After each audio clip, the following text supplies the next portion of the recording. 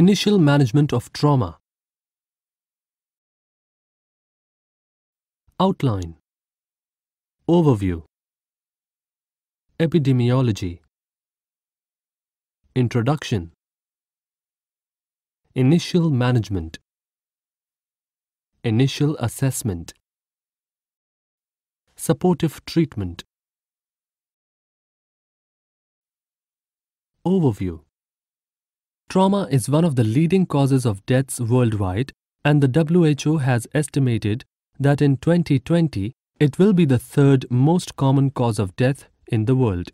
Road traffic accidents are responsible for majority of trauma and most victims are in the productive age group of 15 to 50 years. Epidemiology of burns in India, trauma accounts for about 90,000 deaths each year, constituting 10% of all trauma deaths worldwide. For each death due to trauma, 13 persons are grievously injured. Introduction Though trauma is a potentially multi-system problem and major injuries are best managed in dedicated units, most trauma deaths may be prevented with simple measures that require minimal facilities. Effective management of trauma requires three components. 1. Rapid access to appropriate therapeutic modalities. 2.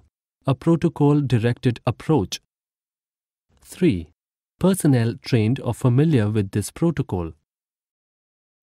Deaths arising from trauma have a trimodal pattern. Immediate.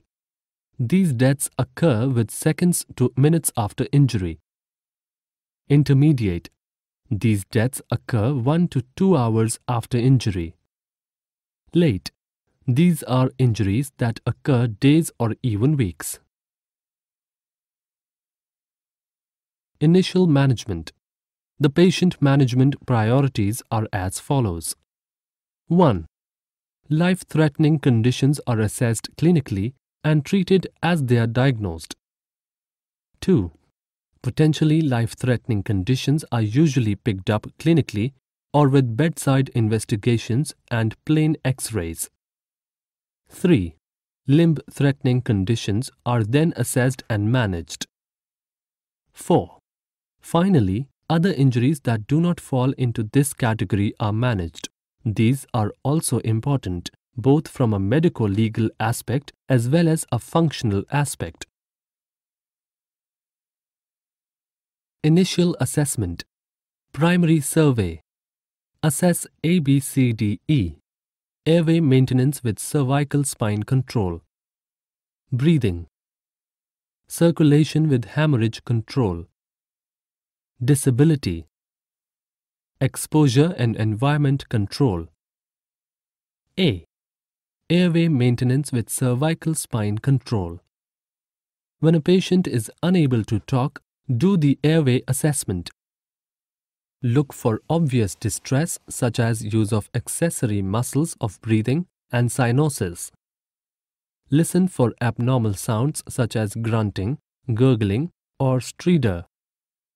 Feel for crepitus in the mandible indicating a fracture, the position of the trachea and laryngeal crepitus. Patients who have maxillofacial, neck injuries, foreign body, bleeding into the airway, or evidence of burn injury on the face should have their airway cleared as and when an abnormality is recognized. B. Breathing.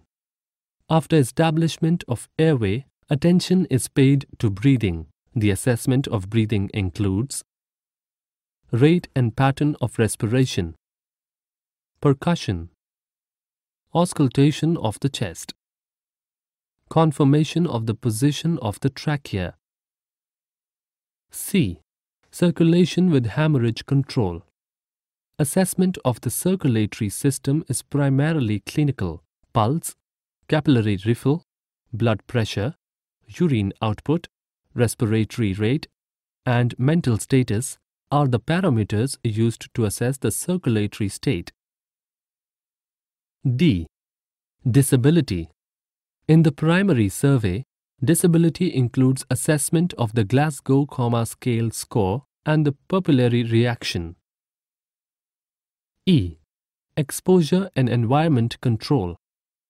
This is the final part of the primary survey. The patient should be completely stripped to expose the whole body for the secondary survey. Once the patient is exposed, he or she should be covered appropriately to minimize hypothermia. Adjunct to the primary survey. Real-time monitoring of the ECG, the SpO2, and invasive or non-invasive blood pressure. A complete blood count, electrolytes and urea chest and pelvic x-rays and other x-ray depending on injury. Nasogastric tube, orogastric tube in patients with skull base fractures. Urinary catheter, a central venous catheter. Secondary survey. The secondary survey is a head-to-toe examination of the patient for detecting all injuries. Priorities include identification of potentially life-threatening injuries and limb-threatening injuries. It also includes a reassessment, a more detailed one, of the primary survey. At the end of the secondary survey, further radiological studies and special procedures may be done if required. Region-specific examination and management. A.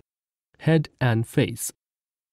Examine the scalp for evidence of lacerations, contusions, and fractures. Test the eye for visual acuity, pupillary size and reaction, hemorrhages in conjunctiva and fundi, penetrating injuries, optic nerve injury, entrapment of nerve, lens dislocation. Examine the maxillofacial area for bone fractures, mandibular injury, Consider a prophylactic definitive airway to prevent development of airway obstruction later. B. Neck and cervical spine. Inspection for bruising, hematomas, and evidence of penetrating injury, presence of an expanding hematoma indicating major vessel injury. The neck palpation for presence of hematomas, crepitus, broken cartilage, cervical spine tenderness, or deformities. Carotid auscultation for the presence of bruits indicating injury. C. Chest.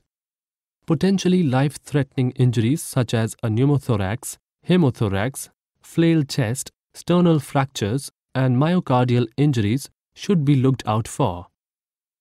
The chest is inspected for the presence of bruising, lacerations, or contusions. Look for paradoxical movement of the chest wall indicating a flail chest that may require positive pressure ventilation or oxygenation. The chest wall is palpated for tenderness or crepitus of the ribs, sternum, and clavicle.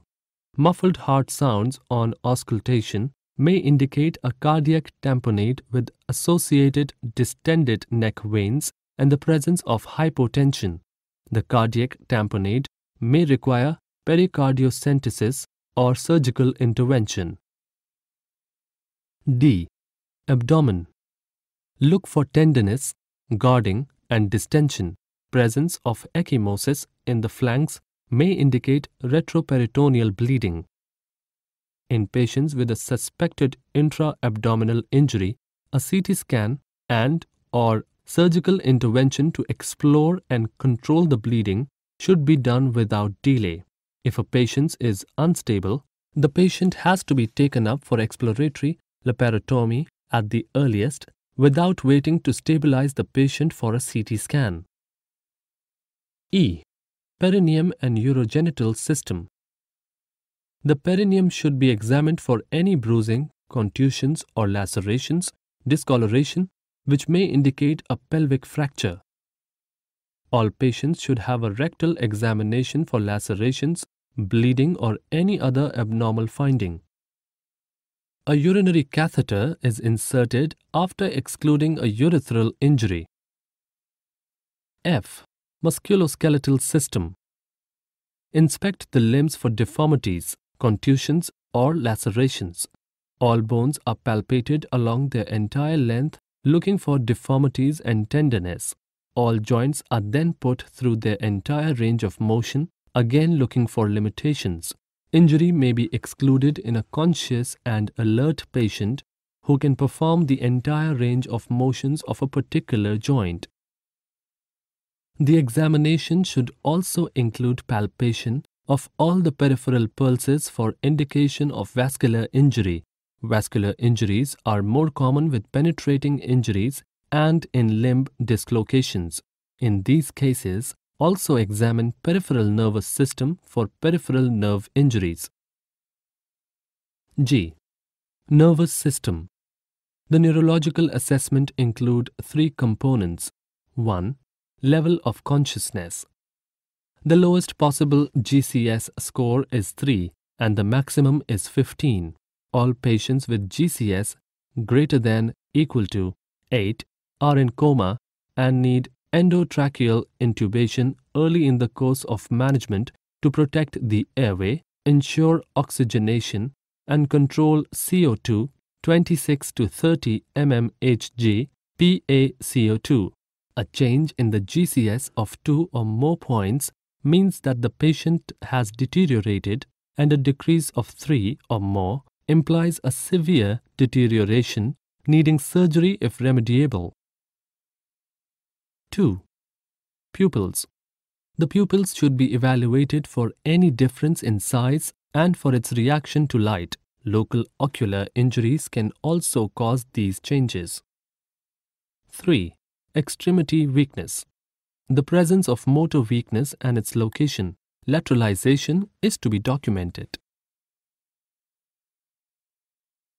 Supportive treatment. A. Nutrition.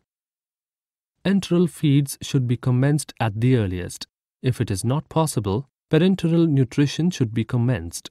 If the patient is not adequately resuscitated or on high dose inotropes, enteral feeding should be delayed till stabilization is achieved.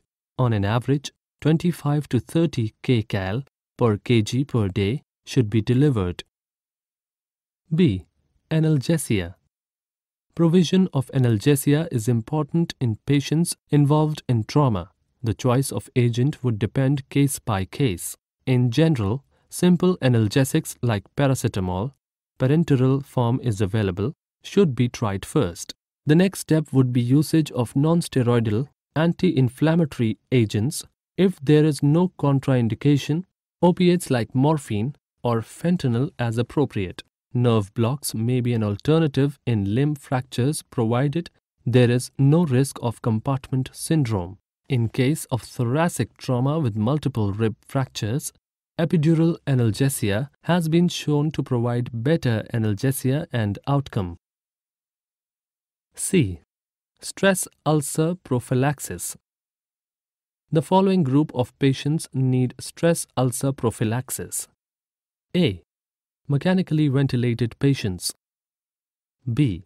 Patients with coagulopathy. C. Head injury. D. Burns. D. Deep venous thrombosis prophylaxis. Patients with spine fractures and spinal cord injuries are at increased risk of deep venous thrombosis. Other factors like old age, high injury severity score, ISS, long bone fractures, pelvic fractures, and head injury are other risk factors.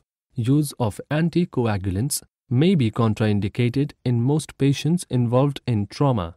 Mechanical devices like sequential compressive devices and stockings may be the only available option in this group of patients.